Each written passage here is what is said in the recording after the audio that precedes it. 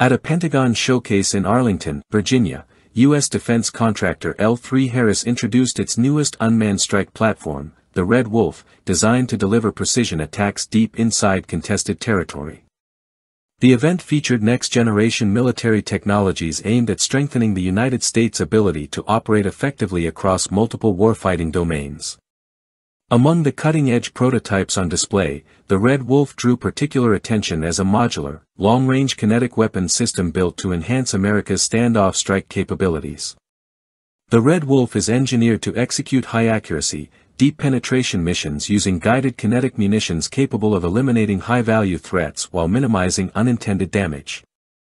Unlike traditional strike assets that rely on manned aircraft or closer-range weapon platforms, this unmanned vehicle allows U.S. forces to hit strategic targets from well outside enemy defensive zones, reducing the risk to pilots and expensive frontline aircraft. Categorized as an air-launched effects ALE, system, Red Wolf can be deployed from helicopters, fixed-wing aircraft, or even ground-based vehicles. ALEs act as forward-deployed sensors and weapons carriers, conducting reconnaissance, disrupting enemy defenses, relaying battlefield data, and executing precision strikes far ahead of manned units. This capability allows commanders to test enemy defenses, suppress threats, and gather vital intelligence without risking human lives.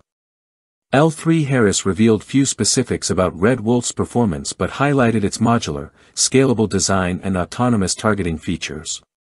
Powered by AI-based sensor fusion, the system can independently locate and prioritize targets while remaining fully adjustable to new mission parameters in real time. Its adaptable framework makes it compatible with a wide range of launch systems, supporting both tactical battlefield roles and long-range strategic strike missions. The Red Wolf is part of L3Harris Wolf Pack series of multi-role unmanned vehicles capable of rapid integration with various platforms, including non-proprietary systems from other manufacturers.